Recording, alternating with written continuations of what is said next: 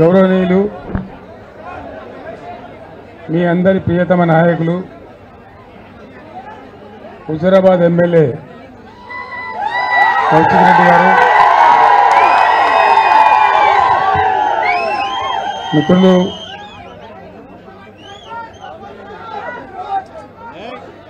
విద్యార్థి జీవితం నుంచి ఉద్యమంలో పాల్గొన్న మిత్రులు గెలు శ్రీనివాస్ గారు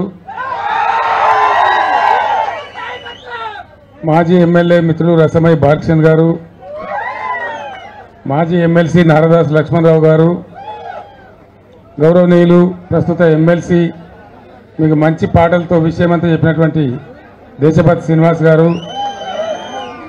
మన జడ్పీ చైర్మన్ గారు రవీందర్ రెడ్డి గారు బాలకృష్ణరావు గారు బండా శ్రీనివాస్ గారు మున్సిపల్ చైర్మన్ రాజేశ్వరరావు గారు వేదికను అలంకరించినటువంటి ఎంపీపీలు జడ్పీటీసీలు ముఖ్య నాయకులందరికీ నమస్కారం. మీ ముందు వినోద్ కుమార్ గారు ఈరోజు పార్లమెంట్ ఎన్నికలు పోటీ చేస్తున్న విషయం మీకు తెలుసు. ఒకటే ఒక మాట ఎక్కువ చెప్పే అవసరం లేదు. పద్నాలుగు పదిహేను సంవత్సరాల తెలంగాణ ఉద్యమంలో చివరి దశకు వచ్చే టైంలో నేను ఒక మాట చెప్పిన.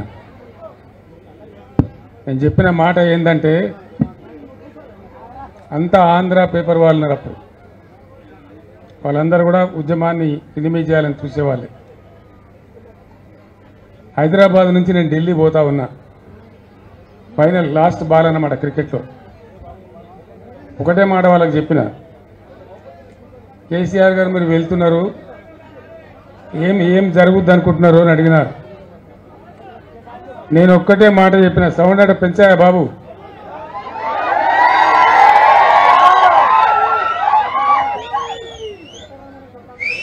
ఒకటే ఒక మాట నేను చెప్పిన ఆ రోజు. ఆంధ్రప్రదేశ్ రాష్ట్రం నుంచి ఇవాళ నేను ఢిల్లీకి వెళ్తున్నా తెలంగాణ రాష్ట్రంలో మళ్ళా వచ్చి తిరిగి అడుగు పెడతా అని చెప్పిన. అంటే ఈ మాట చెప్పానంటే ఎంత ఆత్మవిశ్వాసం ఉండాలి? ఎంత ధైర్యం ఉండాలి? ఎంత నమ్మకం ఉండాలి? చిన్న విషయం కాదు.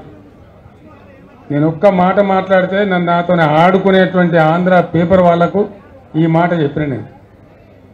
అన్న ప్రకారమే మీ అందరి ఆశీర్వచనం మీ అందరి దీవెన మీరందరిచ్చిన బలం తెలంగాణ ప్రజలు ఇచ్చినటువంటి బలం దాంతో ఆ రోజు నేను విమానం ఎక్కి ఆంధ్రప్రదేశ్ రాష్ట్రం నుంచి పోయినా మళ్ళా విమానం దిగినా అంటే తెలంగాణ రాష్ట్రంలో దిగిన. ఇక్కడ విషయం ఏంది? తెలంగాణ వచ్చింది. మీరందరూ కూడా దీవించినారు. పదేళ్ళ పాటు పరిపాలన చేసిన. తెలంగాణ రాకముందు చెట్టుకొగడు గుట్టకొగడు అయినటువంటి తెలంగాణ ప్రజలు ఇరవై ఎకరాల భూమి ఉన్న ఆసాం కూడా హైదరాబాద్కు వచ్చి ఆటో రిక్షా నడిపినటువంటి మహబూబ్ నగర్ నల్గొండ వగైరా ప్రాంతాల బిడ్డలు ఫ్లోరైడ్తో నడుములు వంగిపోయినటువంటి లక్షలాది మంది ప్రజలు. మంచినీళ్ళు లేవు కరెంటు లేదు సాగునీళ్ళు రావు. చాలా గందరగోళమైన పరిస్థితి. చేనేత కార్మికులు మొత్తం ఎక్కడికక్కడ ఒక్కొక్క రోజు ఏడుగురు ఆరుగురు పదకొండు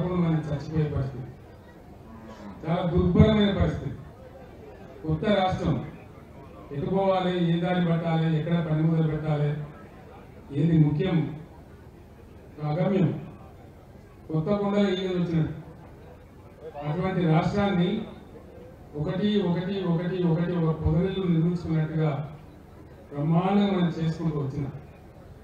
మొట్టమొదలు ముసలి వాళ్ళ యొక్క నిరుపేదల యొక్క లోన్ లేని ముసలి వాళ్ళ యొక్క బోస తీర్చాలని ఆసరా పెన్షన్ మొట్టమొదటి రెండు వందల దాన్ని వెయ్యి రూపాయలు చేసుకున్నాం. ఆ పై మనం రెండు వేలు చేసుకున్నాం. వాళ్ళందరూ కూడా సెటిల్ అయిపోయారు. సంతోషంగా ఉండేది బాగా ఉండేది వ్యవసాయం స్థిరీకరించాలి రైతు బాగుండాలి ఇంకా నీళ్ళు రావాలి చెరువులు బాగా కావాలి. కాకతీయ రాజులు పెట్టినటువంటి చెరువులు బాగైతేనే నీళ్ళు వచ్చినా సరే ఆ చెరువులు నింపుకుంటూ పోతే భూగర్భ జలాలు ఉంటాయి. రైతు స్థిరపడతారని ఒక ఐదారు కార్యక్రమాలు ఇస్తుంది మొదటిది ప్రపంచంలోనే ఎక్కడ లేదు. మన దేశంలో మొదలకే లేదు.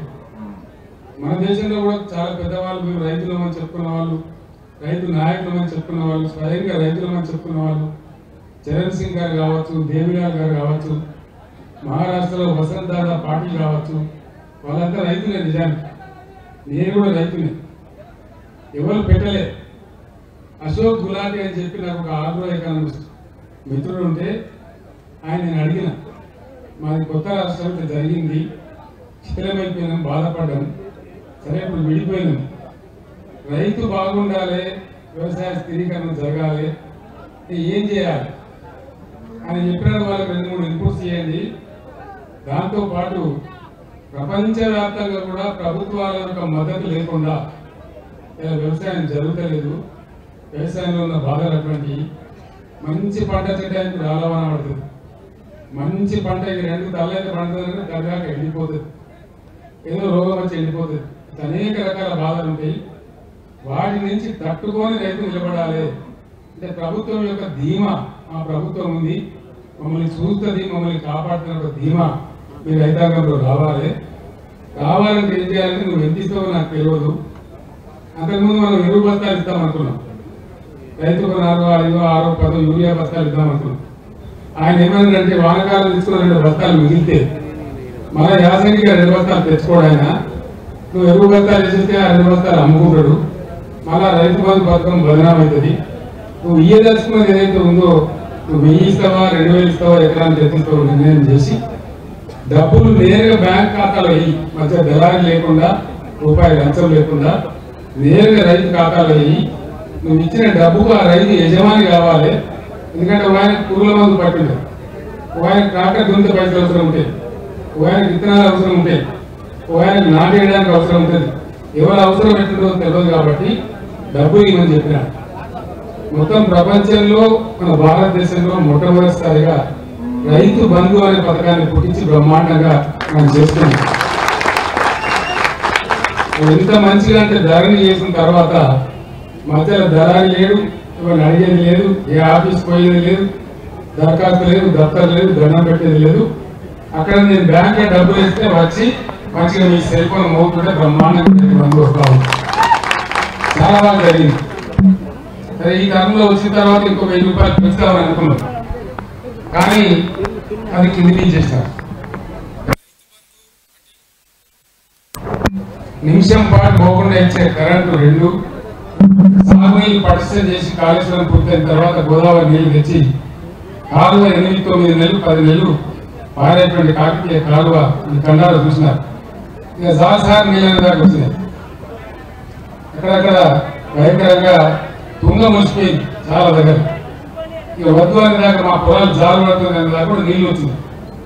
నీళ్ళు తెచ్చినాం చెరువులు బాగు చేసినాం కరెంట్ ఇరవై నాలుగు గంటలు ఇచ్చినాం రైతు బంధించినాం ఎవరైనా రైతు దురదృష్టం కొద్ది చనిపోతే ఐదు లక్షల రూపాయలు వారం తిరిగే లోపల వాళ్ళకి జమ అయ్యేటట్టు చేసినాం ఆ కుటుంబం రోడ్డు మీద పడద్దని అట్లనే ఉన్న వాళ్ళు పండించిన ధాన్యాన్ని చాలా తమాష జరిగింది. రైస్ మిల్లర్ గోల్మాల్ చేస్తాం అరుగు తీయడం ఇది తీయడం అది తీయడం మోయిచర్ లేదనడం అది శాతం లేదనడం మీటింగ్ పెట్టి నేను క్యాబినెట్ మీటింగ్ పెట్టి.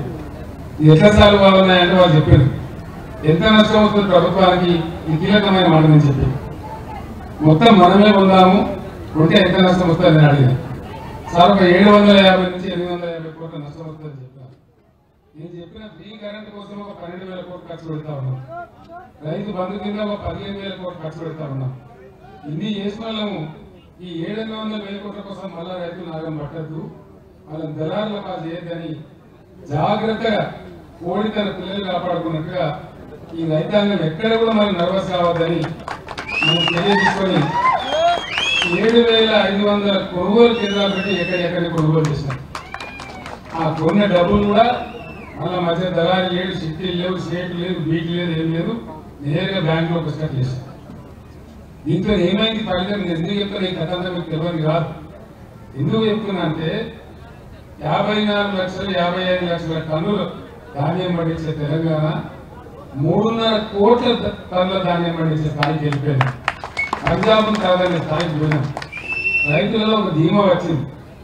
హైదరాబాద్ ఉన్న పాత రైతులు ఎప్పుడో పొలాలు పెట్టుకున్నారు కూడా వచ్చి గురపెక్క జరుపుకొని మళ్ళా ఒకసారి మొదలుపెట్టింది.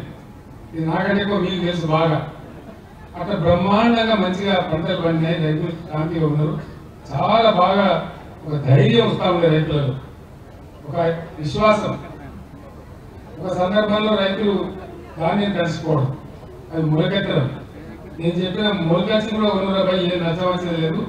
అది బాయిల్ రైస్ ఇద్దాము ఇంకేం బాధ లేదని చెప్పి కలిసిన ధాన్యం రంగు వేసిన ధాన్యం మొలకెచ్చిన ధాన్యాన్ని కూడా కొనిపించిన.